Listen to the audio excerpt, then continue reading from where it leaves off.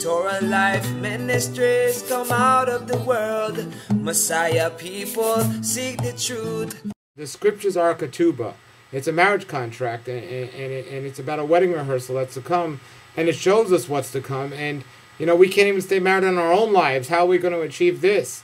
You know, we got to learn about love. How do we know about love if we can't stay married? If divorce is just as much in the church and out of the church?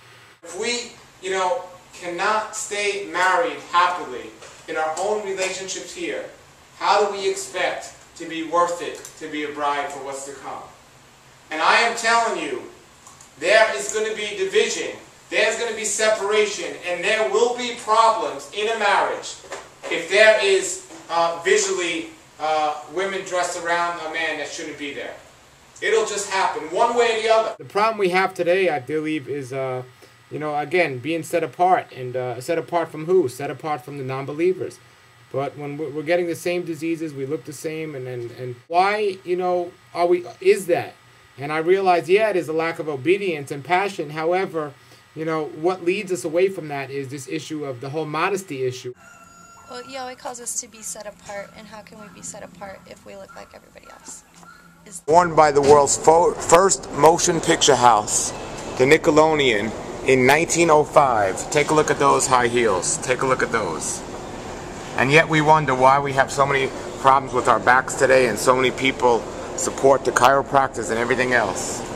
That's crazy. That was 1905 and today it's even worse. The high heels messed you up. They messed me up terrible, and I thought they were beautiful. I weighed 200 pounds wearing them also, and now I'm down to 120.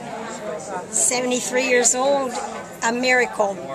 Physically, emotionally, and spiritually, what do you think of high heels? Oh, I cry when I see girls have them on. I want to talk to every girl I see, and they look like, forgive me, a W H O R E. No, say it. They look like. Oh, say they it. look And- like they are looking for a man to use them. Some women, they might call themselves women of Yahweh, but they certainly don't look or act like it. realize this as a man, a married man especially.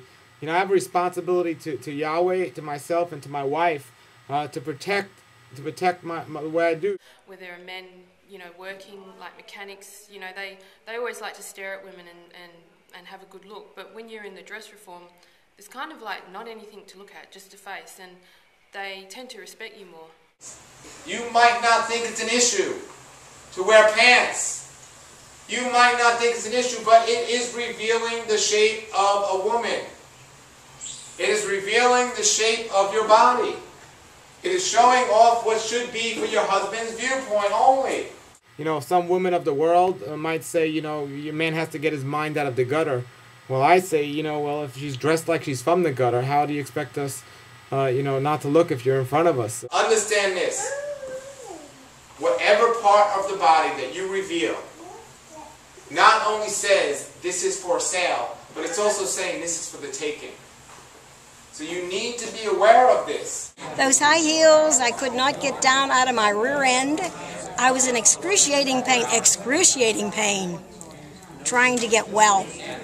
And I'm still trying to get those legs well. I see King David, King Solomon, I see uh, Judah, I see uh, Samson, all of them. Uh, their downfall was women and, and the beauty of a woman. And it won't always be the man struggling with this because the woman might struggle with it also. Women, you have a responsibility and also you should have a passion not to have those women. So you're the ones that should be saying something to these women or at least not bringing your husband to an environment uh, that, that has issues like this. You know, I know many, and I spoke to many men about this, and they say, you know, well, I struggle. You know, my wife wants me to go to the mall with her and go shopping. You know, I tell you, I don't know what it is about a mall, but I don't know if women think it's a fashion show or whatever. But they go and, and go on to put on some of the worst abominational clothes that Yahweh could imagine. The teenagers there and everything else, and the women there. They just they got to go to the mall. Maybe they're in competition with the other women at the mall. I don't know what it is. But but ladies, you should not desire to take your husbands to these places. Understand, it says in the scriptures not only is the doorway narrow, but the path is narrow as well. Uh, so we have to stay on the path and we can't stray off of it. Well, the scriptures tell us not to destroy the size of our beards, but more specifically, it tells not to shave the hair on the body. How do we know, and where does it say that? Well, we wouldn't grow hair if we weren't supposed to have it. It's for, for protective purposes. It protects our body. It protects our skin. Uh, and, and, as for our beards, it protects our appearance. It separates what, what, the way we're supposed to be separated, a man from a woman. Uh, you know, it's just a cultural thing that people shave today, and it adds so much stress to the body on top of all of that. To me, shaving is unnecessary. Um, and to me, um, it is another aspect of vanity.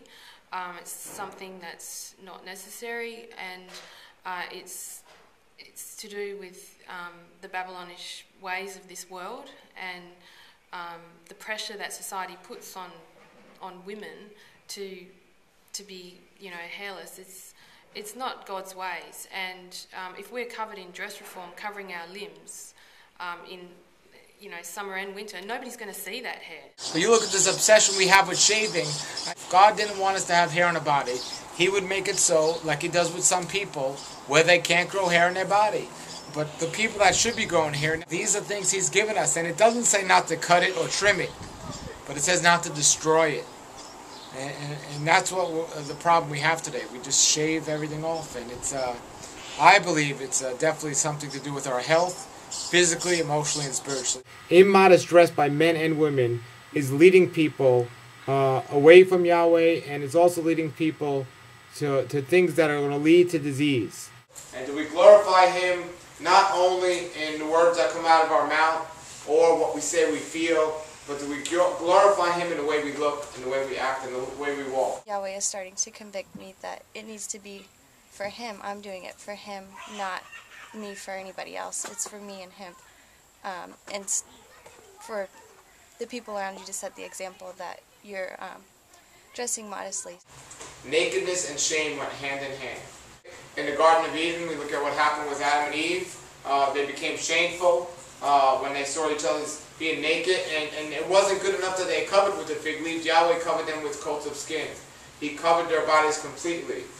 You know, again, we're temples of the Most High God and we're to be treated that way, and we're to treat ourselves that way.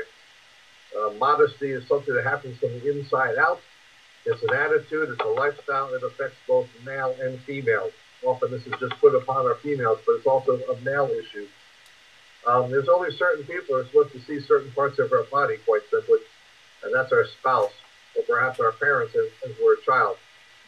And modesty is, is from having downcast eyes and a humble spirit to the clothes we wear. Often, even in churches today, you see women wearing sundresses and they're going around hugging other men who aren't their husbands. So those men are having to put their hands in places that, quite frankly, shouldn't be. And we have to do a better job. We're not talking about burkas and those kind of things. You can be very stylish, ladies and men as well. But you have to think: is what I'm wearing causing others to stumble? Is what I'm wearing would I wear it if our Messiah came back today, or would I choose something better? We have to shoot for something better. Look at all the lust and pornography in the world today. The world's running out of control. As you said, Paul, we're to be a set apart people, which to show the world a difference. Let them come to us. Part of that's how we dress and how we act, not only in public, but also in private. We have to take back our lives. We have to take back the land. We have to take back the attitudes that belong to people of the king, children of the king. We can't be running around crazy like the world does, but we're impacted by it. We're to be in the world, but not of the world. So let us have a different standard. Let us have a higher standard. And let us be people full of light and salt so that we can show the world a better way. The Bible calls for a coming out. You know, we're not to be, we're to be in the world, but not of the world. Um, God says, come out from among them and be separate. We are Yahweh's masterpiece. He has created us anew in Yeshua so we can do the good things He planned for us to do a long time ago. If you stick according to His plan, you will get the result that He desired for us. And that result was not for us to suffer from disease the way people are suffering from disease today. And that result is not to get the same things that are happening to the non believers of the world. We are called set apart for a reason. We're supposed to be set apart as believers. Set apart from who? set apart from the world.